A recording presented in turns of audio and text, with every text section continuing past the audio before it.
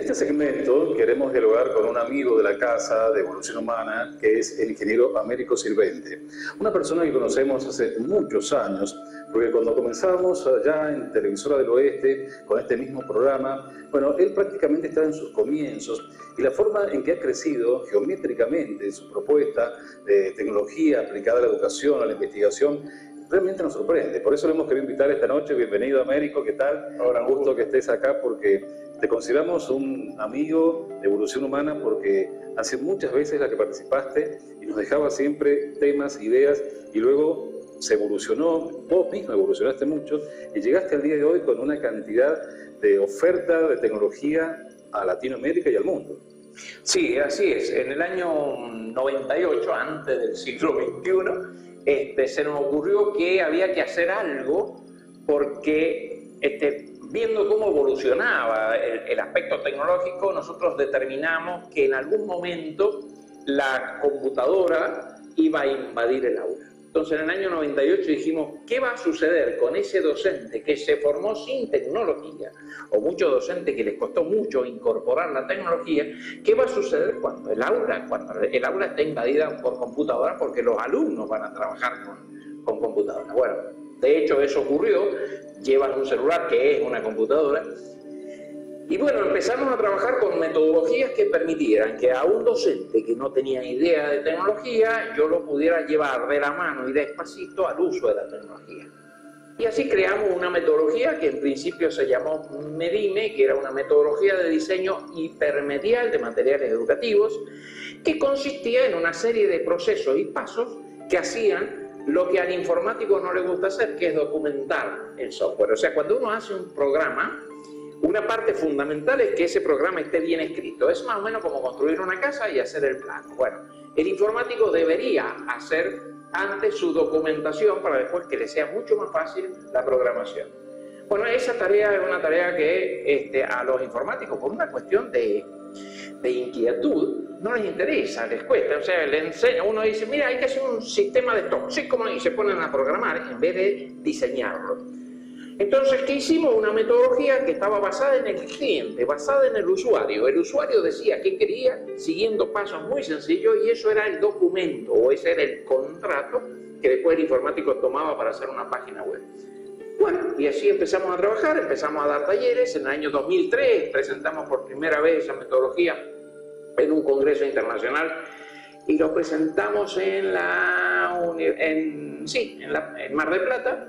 Lo aprueban y empezamos a trabajar haciendo talleres. Y a medida que íbamos trabajando, más docentes se incorporaban, poníamos tres docentes y un informático, tres docentes y un informático. Entonces hacíamos talleres de 20, 30 docentes y hacíamos al final del taller, que eran cinco o seis clases, hacíamos una presentación en común. Todos los grupos presentaban una página web y cada grupo la tenía que defender y la evaluación era por los pares. O sea, los demás evaluaban el trabajo y luego, por supuesto, se publicaba en un repositorio. Y eso significó que cada docente que participaba del taller tenía un material propio hecho con, aspectos tecnológicos, nosotros le llamamos bien formado, y estaba en un repositorio, o sea que estaba publicado. Y bueno, eso tuvo mucho éxito y fuimos avanzando, avanzando, avanzando, avanzando. Hoy tenemos más de ciento y pico de talleres de Estado. Impresionante. Bueno, siempre esto nos recuerda el gran libro de Alvin Toffler, La Tercera Ola, donde él afirmaba en esa gran obra de que convivimos personas de tres olas distintas, olas le llamaba él a las eras, digamos, del conocimiento.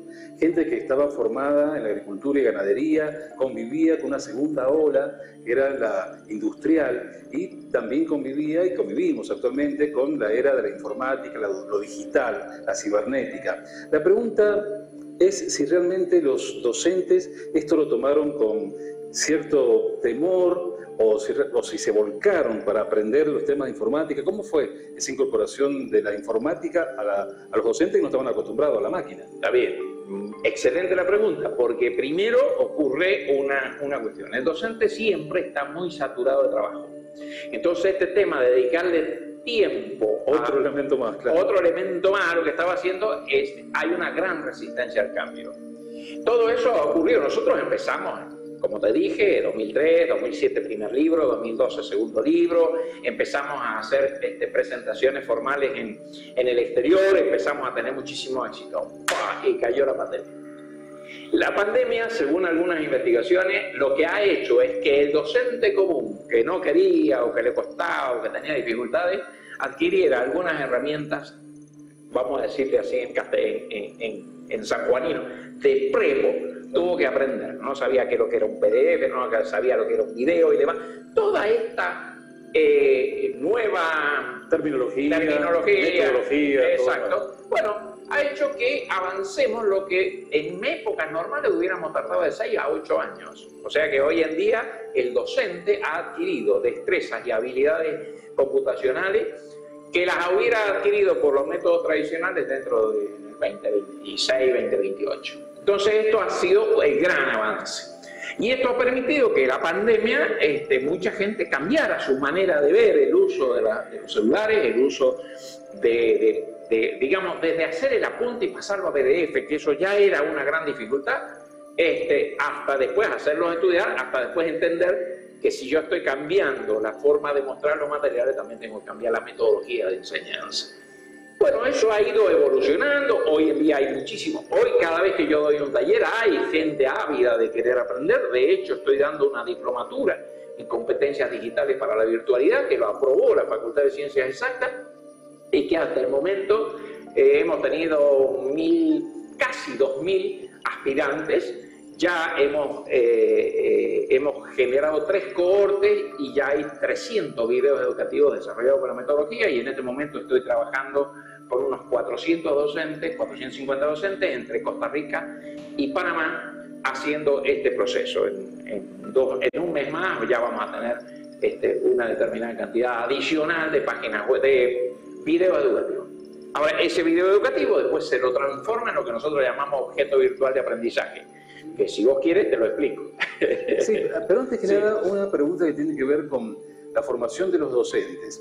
Pasaron muchos años desde que Américo empezó con esto y luego va incorporando tecnología, conocimiento, datos, información, para que los docentes tengan este gran implemento que es la tecnología, la informática. Pero la pregunta es la siguiente, eh, ¿ves como que actualmente los docentes que se reciben de maestros, sobre todo para la primaria, ya vienen con conocimientos en tecnología o sigue habiendo un déficit? No, el déficit siempre existe. Lo que sucede es que, bueno, cuando uno habla, y esto, esto vos lo conocés, cuando uno habla de tecnología, lo que yo estoy hablando hoy de una determinada herramienta, de un determinado método de trabajo, etcétera, cuando yo lo estoy explicando para que otro lo aprenda, ya es viejo, porque salió algo nuevo. Entonces la tecnología avanza tan rápido que este, es muy difícil mantener el ritmo hay que ser, como yo digo siempre, yo soy nativo digital, empecé trabajando con computadoras con tarjeta perforada, pero me he ido adaptando a medida que ha ido pasando el tiempo, me he ido adaptando a las distintas tecnologías, a las distintas maneras de ver. Este, bueno, hasta el año 2004 este, todavía me resistía el tema del teléfono celular, pero llegó un momento en donde yo era asesor en un ministerio en Buenos Aires y me dijeron, eh, no, necesitas tener comunicación permanente, porque, bueno, bueno, entonces, indudablemente el teléfono es una gran herramienta porque es una computadora que nos lleva en la mano.